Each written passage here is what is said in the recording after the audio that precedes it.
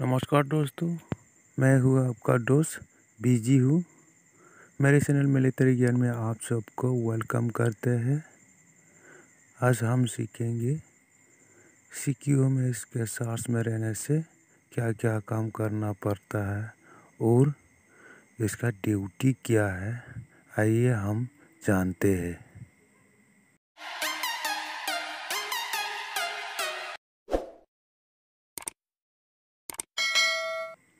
सिक्योम का full form है company quarter master holder सिक्योम का ड्यूटी है